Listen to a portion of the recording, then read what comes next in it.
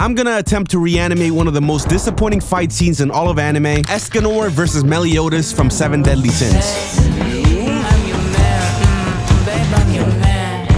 That's a sneak peek of what's to come. I'm gonna take you, yes you, through my process on how I made this 16 cut animation by myself. You're not gonna wanna miss this. For context, this was the series' most anticipated moment, and when the anime episode came out, it was so bad that I had the fans of the series in shambles. No, bro, this this is not cool, bro. What is this? Before starting the process of my reanimation, I skimmed through the manga chapter of the fight, and I was shocked to find out how different it was from the show. I could feel as if the mangaka had a specific vision of how the fight would flow when animated, and the anime really did not deliver at all. So I had the bright idea of reanimating the scene as closely to the manga as possible. I knew that going into this, it was for sure gonna be my most challenging animation that I've done to date, since, you know, it's a fight scene that's gonna require a solid amount of drawings, but thankfully, I had some ideas that could potentially speed up the process. Because, you know, I wanna make it good, but I also don't wanna spend 30 decades on it. I kinda have a YouTube channel to run here. To start this project off, I decided to put together a reference board of both the characters that are featured in this scene, Meliodas and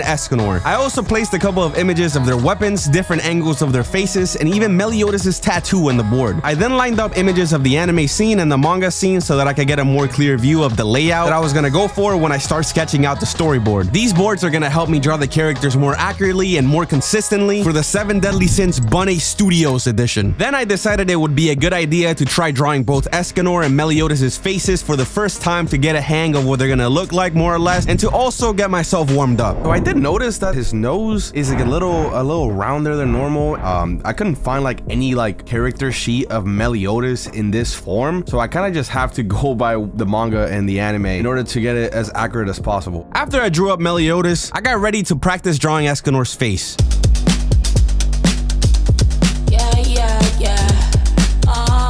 So far so good. I think the faces are pretty accurate to what I'm gonna do for the rest of the animation. Now what I'm gonna do is go ahead and render it and try and figure out the colors for the characters and more or less get an idea of what exactly the final product is gonna look like.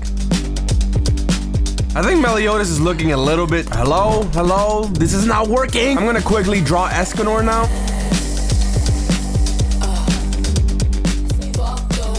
The last thing I was missing was a solid reference for the background of this scene, so I sent some pictures of the anime to my friend with benefits to cook up a CGI background and he said, anything for you, just say the word. Bro got me blushing and shit, so we'll come back to that later when he's done cooking. In the meantime, now that I have all the references of the characters that I need and I also got warmed up, it's time to start working on the storyboard of the fight. To make the storyboard, I looked through both the manga panels and the anime and sketched out the keyframes in a way that's more faithful to the source material. This process helped me visualize the flow of the animation and plan out the transitions between the scenes. Also, this time around, I decided that instead of making extremely rough sketches to help me come up with an idea for what I wanted the final cut to look like, I would try to make the sketches and the storyboard the actual sketches of the cuts, meaning that I made them a lot more accurate and exactly as I wanted it to look in the final product. This is in hopes that it was gonna save me a good chunk of time and a lot of headaches. So let's see if it actually helps or not. After I finished drawing up the storyboard, I took a step back to see if the scenes flowed well. Not gonna lie, I was kind of just admiring my own work for a while. However, I knew that the real challenge was still ahead. So without dwelling too much on what is yet to come, I moved on to the animation process. The first cut features Meliodas looking up at Escanor and he tells him that he's in a bad mood. Thanks to the storyboard sketch being exactly what I wanted the final cut to look like, I wasted no time and got straight to the line art portion of the process off rip. I started off by doing the line art of the static elements of the shot first. This was basically everything that didn't include the mouth, chin, neck, and the eye. I then proceeded to animate the most basic blink in all of existence, but it gets the job done well. Next, I animated him speaking, which was done by animating his mouth opening and closing in a simple pattern. This basic animation technique gives the illusion of speech without the complexity of full lip syncing. Cut 2 features Escanor looking down to Meliodas and he's telling him that he is in a great mood, unlike Meliodas who is in a horrible mood. I'm not gonna lie, this cut straight up followed the same process as the last one, so I'm not gonna bore you with all the details. I will say though, in my own humble opinion, the colors and just the drawings in general look pretty cool. I really, really like how both of these cuts turned out in the end. In cut 3, Escanor is talking a ton of shit about how this is a golden opportunity to prove that he's better than Meliodas. This cut is not gonna have any movement at all in terms of animation. All I really needed to do was draw the characters in a still frame, and even with such a simple task, my brain-rotted brain decided to take over and draw his axe backwards for some reason, and I only noticed right after I started compositing this shot like three weeks later. The only movement this cut was gonna have is the little animation of the cube and the clouds moving from the wind, but that's all gonna be done later in compositing. Cut 4 and cut 5 were the next two cuts I had to animate. These scenes feature Escanor and Meliodas gripping their weapons as they're getting ready to clash. Since these two cuts are basically identical in animation, I'm gonna quickly go over them. The idea was to make very detailed and accurate drawings of their weapons, and to have the shots be more of a close-up in contrast to what the anime went for. For the gripping animation, I wanted to make sure that you could see the movement, but I didn't want it to be too exaggerated. Just simple ease timing with solid hand drawings, which I have very much struggled with in the past, but I surprisingly did not have a hard time this time around. Am I improving, chat? Either way, I believe these two cuts came out phenomenal and came out just how I imagined it in my head. Cut 6 is up next, which means it's actually time to get into more complex animation cuts for this project. In this cut, Escanor is to swing up his axe to charge up for an attack on Meliodas. Essentially, my vision was for this cut to be smoothly animated on once, which I never do. My idea was Escanor quickly swinging up his axe in the beginning, and then it turns into more of a slow motion type shot. Due to me wanting to make this cut in once, I was gonna need to make a ton of in-between drawings, so was I gonna do that? Of course not! I had recently heard of this animation software called CACANi. This is not sponsored by the way, don't click off, I genuinely tried this. Like, the main feature that enticed me to give CACANi a shot was the automatic in-between generator the app offered, where it basically creates in-between frames for you. I'm pretty sure this is all vector-based, so it doesn't use AI, but I'm not 100% sure. It apparently also lets you adjust the easing and stuff, which looked pretty cool. Since I'm doing this cut in once, this is a perfect opportunity for me to try out CACANi since I don't want to use up 40 hours of my week drawing in between. So I started off by sketching out the animation and movement and timing on Clip Studio Paint. Then I exported it as a PNG sequence and imported it into CACANi. And honestly, as I used it for a bit, it was actually extremely confusing. I had to basically draw the strokes in the same exact order from the previous frames in order for the program to be able to generate the in-betweens properly. And it's not just the order, you also have to get it in the same direction in the same way. So it was honestly pretty annoying, I'm not gonna lie to you. But after some time of going through the struggle, it was time to generate the in-between frames and see if it looks good.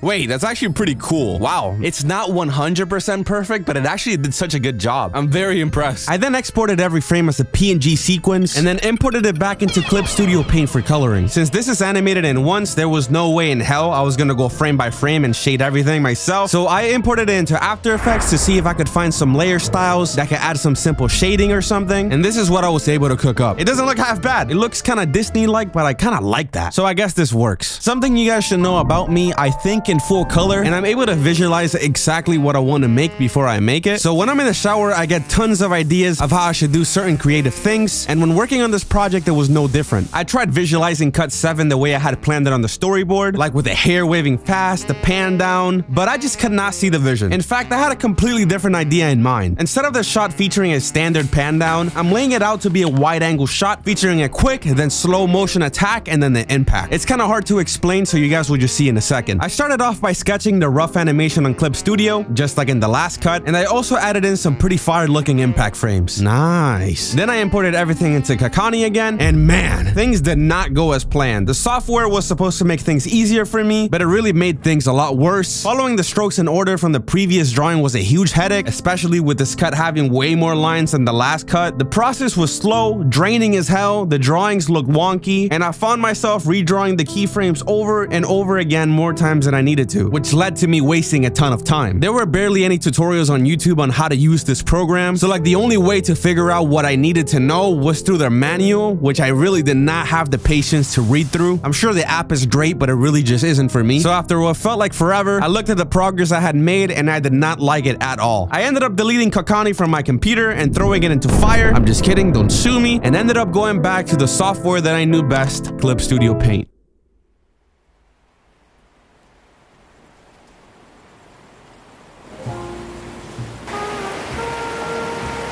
Man, I'm actually, I'm actually really going through it right now. I can't lie to you. This animation has really taken a toll on me, uh, especially with you know the, the standards that I set for myself and how fast I want to get things done because I have a YouTube channel to run and I need to upload at least not once a year. You know what I'm saying? I'm just telling myself this, but you sort of just have to keep on pushing because things are not really as serious as we make it in our heads. Like we really are just on a floating rock. You look at the sky, there's the floating rock just there with the sun reflecting on it. It's just like, it just keeps going. It doesn't end, it never ends. There's like planets and like galaxies and like the universe, multi multiple universes. It just never ends. Like we're just an atom in the grand scheme of things. So really gotta take it easy, man. Really gotta take it easy. I then got back to work after my fourth existential crisis of the week. The liner and drawing process felt way faster in Clip Studio Paint. Everything just looked way better. I had to do it all by hand, but at least I knew what I was doing. You know what I'm saying? In the end, this cut took a whole two days of hard work to finish. It really wasn't fun at all, but at the very least, the final product looks pretty cool. Next up is cut 8. This cut doesn't have any 2D animation, just my drawn 2D background and the cube drawing. This cut is mainly gonna emphasize the impact of Escanor clashing with Meliodas. I'll create all the impact and After Effects and revisit the shot later during the background creation portion of this project. So I quickly moved on to cut 9. After the impact, it's gonna cut to Meliodas who is completely unfazed. This cut is gonna start with him staring directly at the camera with his hair whipping around from the impact, no drizzy, and gradually slowing down. He then starts talking mad shit. Next, I needed to figure out how to make it look like he's holding off Escanor with a sword, so I decided to draw his hand and sword separately in a new project file and then add a shake effect and in post, which is gonna give it the effect that we want. For cut 10, I'm gonna animate Escanor's mouth opening and closing because he is laughing in Meliodas' face. My original plan was to have him open his eyes in this cut, but after pacing around my house like usual, thinking of ideas and whatnot, I realized that it would be way cooler to do a close-up shot of his eye opening, which is gonna perfectly transition to the next cut. I sort of just drew the eyeball in one shot, put it in the bottom layer, and just animated his eyelids opening in a very nice, smooth way. I'm really, really proud of how this shot came out. Now, cut 11 is gonna feature Escanor quickly slashing at Meliodas. In the anime, it felt a lot slower than what the manga intended it, in my opinion. As you can see, there is quite a big difference in overall energy. You know, since this cut is gonna be pretty fast, it's gonna go like...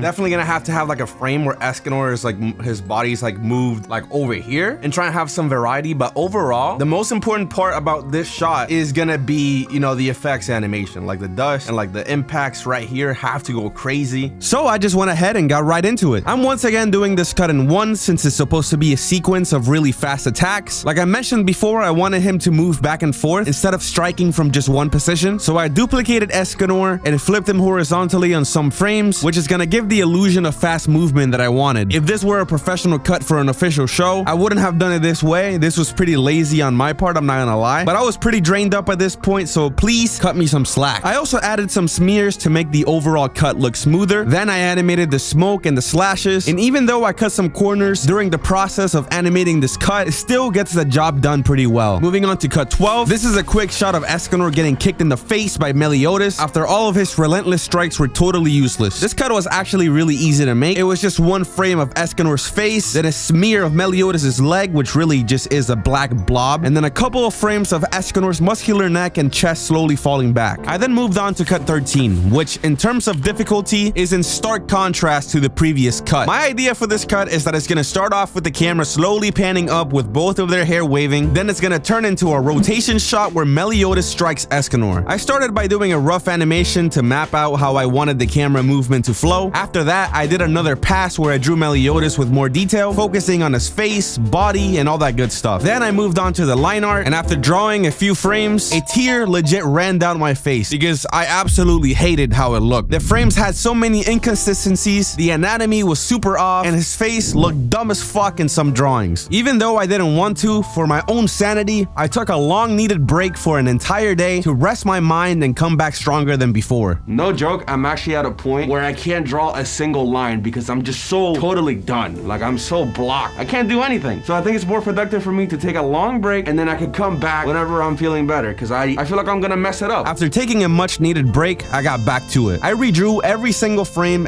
adjusted the timing to make the animation look smoother, and even added some more frames. I was struggling to keep the hair consistent across the frame, so I grabbed one of my previous frames from a different cut and numbered the hair strands. So that when I was drawing Meliodas' hair, I could just count how many hair strands he has, which was gonna help me draw his hair more consistently. I had references for the anatomy, the manga panel, and previous frames up on other monitors to be able to keep the cut consistent. I even added a tiny bit of slow motion follow through for extra polish. For a lack of better words, this was a fuck ton of work, but I pushed through the mental anguish, blood, sweat, and even tears and finally wrapped up this entire cut. Man, I finally finished cut 13. That was actually going to be the most difficult one, so I'm really glad I got that out the way. Now, everything else should be easier, theoretically, of course. I then moved on to cut 14, which is pretty much just Meliodas falling, serving as a transition to the next cut, where he legit turns into a tornado. This cut wasn't too hard, it was actually pretty straightforward. In order to transition him into the tornado, I did a frame where his face is super smeared, followed by a couple of frames that are gonna transform him into this tornado of slashes. Cut 15 is up next. I decided to stick with a manga layout yet again because it really captures the intensity of the scene, unlike the anime. I wanted to emphasize the sheer speed of Meliodas spinning while showing Escanor's struggle to hold him off. To do that, I created a two-frame loop of Escanor struggling to keep up, moving his axe back and forth. Meliodas was animated in ones to showcase his speed. Later on in After Effects, I'll add some directional blur to Meliodas to make it look even better. After that, I colored it in, added the shading, and moved on to the final animation cut, cut 16. This cut looks hilarious in the anime. I'm not really quite sure how this ended up happening, but either way, I think a cut like this should happen pretty quickly, so I'm gonna start it off with Meliodas still being a tornado, in which I'm just gonna reuse the animation from the previous cut, because there really is no point in doing all that again, I already did it. So I just got straight to animating Escanor up until Meliodas breaks out of the tornado and launches him off. I thought this frame came out really, really nice, and it kind of sucked because it's only gonna be shown for like a millisecond in the final product. So I'll just leave it up on the screen so that we can appreciate it together. By the way, if you've made it this far, comment something like pink horse in the comment section so that all the fake frauds that skip to the end of the video to watch the animation could be extremely confused. I finished up this cut by adding a couple of frames of this white transparent pod, this white transparent shockwave to showcase speed. And just like that, I finished the animation after three weeks of work. Now I gotta do all the backgrounds, the compositing, audio, and putting everything together.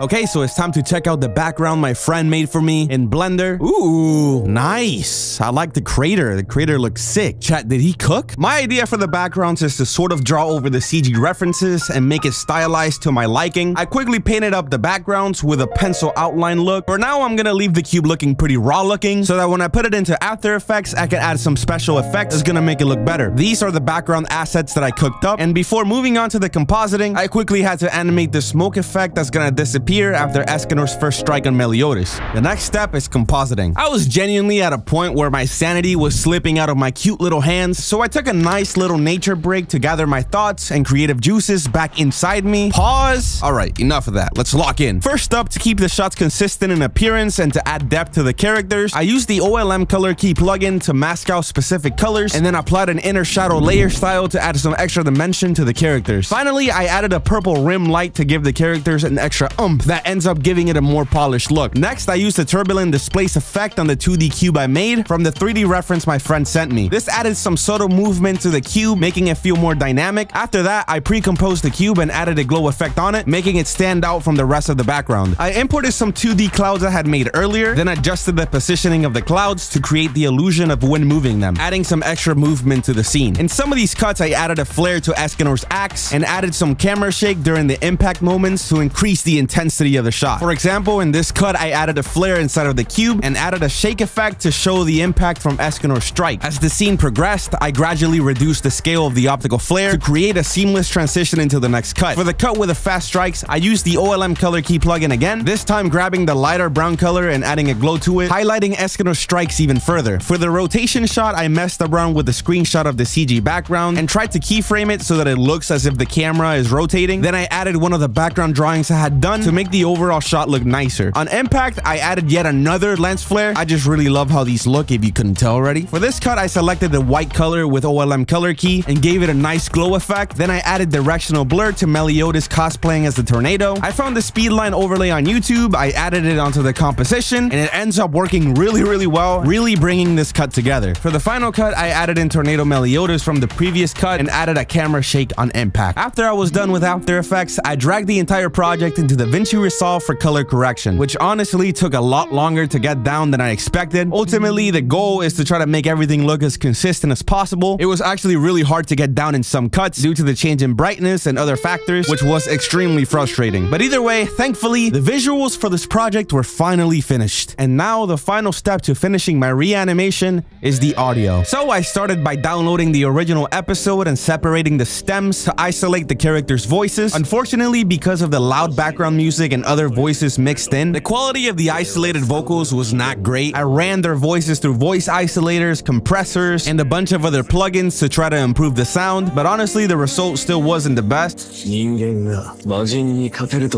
I wasn't gonna trip too hard about this though, cause there's really not much I could do about it. I then found the original soundtrack of the fight scene on YouTube. I downloaded it and imported it into the project. After that, I added my own whooshes, explosion sound effects, and all that good stuff. I did end up using the stored sound effects from the anime and also threw in the Cube Spark hit sound effect for this cut because I quite frankly couldn't find anything similar anywhere else. It actually never fails to amaze me just how much sound design could elevate any project. It is truly insane. After three to four weeks of work, I finished this project. Honestly, I probably learned a lot more about myself than about animating during this process. Surprisingly, a lot more than when I worked like a MAPPA animator for 72 hours. Seven days video is coming soon, by the way. I pushed myself a ton and discovered that I had a lot more discipline than I previously thought I did. I went out of my comfort zone and tried a lot of different stuff I hadn't done before. And most importantly, I made something I'm proud of. I know it's not perfect, and regardless of all the struggles I faced, I'm glad I made it. So make sure to subscribe to the YouTube channel, follow my Twitter and my Instagram. I also have a Patreon if you guys want to further support me. Thank you guys for all the support. I'm going to keep doing my best and I'm going to keep working harder than ever. All right, guys, this is the final product. Enjoy. 口には気をつけろ俺はすこぶる機嫌が悪い私はすこぶる上機嫌ですわかりますか 私があなたより上だということを証明できる絶好の機会だからですよ。さてせいぜいあがいてください。